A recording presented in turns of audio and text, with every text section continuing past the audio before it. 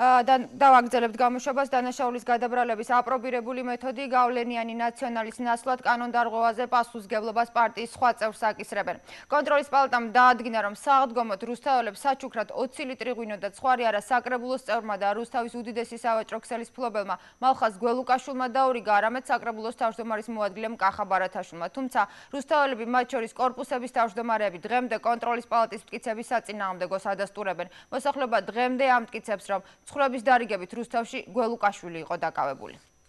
ქალაქ რუსთავის მოსახლეობას ღვინო და ცხვარი დაურიგა არა თამაზ გველუკაშვილმა, არამედ კახა ბარათაშვილმა, რომელიც ქალაქ რუსთავის საკრებულოს თავმჯდომარის მოადგილეა და ერთიანი ნაციონალური მოძრაობის წევრია. კონტროლის პალატაში ამტკიცებენ, რომ სამართალდამორღვევი კახა ბარათაშვილია, რადგან სწორედ მან პირადი ინიციატივით ქალაქში რამდენიმე ქუჩაზე მოსახლეობას აღდგომოდ თითო ცხვარი და 20 ლიტრი ღვინო დაურიგა. ეს მაშინ, როდესაც ბარათაშვილის ხელფასი 1300 ლარია, საჩუქრებისთვის კი მან 8000 ლარამდე დანაზოგი რაიღო. რამდენი ცხვარი და ღვინო დაურიგა? ნუ რამდენიმე სული იყო, რამდენიმე სულზეა ლაპარაკი, გაწეული მაქვს ყველაფერი. განმაცხადე. ისი ხელფასი 1300 ლარია, რამდენად დამაჯერებელია? შეკითხვაზე რამდენად დამაჯერებელია 1300 ლარიანი ხელფასის მქონე რუსთაველებს არამხოლოდ რამდენიმე ქუჩაზე, არამედ ქალაქის თითქმის ყველა კორპუსში ცხვარი დაგვინო დაურიგოს, მოგილაძის უწყებას პასუხი არ აქვს. კონტროლის პალატისგან განსხვავებით დღემდე საპირისპირო სამტკიცებენ რუსთაველები, რომლებმაც საავდგომოდ ზღვენი პირადად მიიღეს და დააგემოვნეს. მათ შორის კორპუსების თავმჯდომარეები, რომლებიც ტელეკამერებს გაურბიან. თამას გველუკაშვილისგან იყო ეს საჩუქარი? კონტროლი გაგაბიშდა.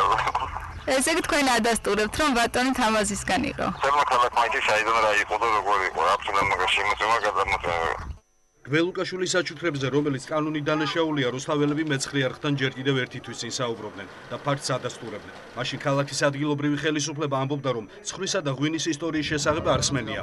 იგივეს ამბობდა კახა ბარათაშვილის ხელმძღვანელი, საკრებულოს თავმჯდომარე კახა გურგენიძეც. პრობლემა იყოს ზოგადად.